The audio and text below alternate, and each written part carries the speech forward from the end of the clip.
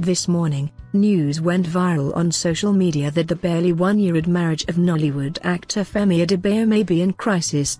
Responding to the insinuations, Femi Adebayo and his wife, Tayo went live on Instagram to make a video that showed they were in the same house and even woke up together in the same house. Lib reached out to his management and they confirmed that the couple are okay and woke up in the same bed. In fact, they were shocked by the insinuations a rep of Femi Adebayo told us.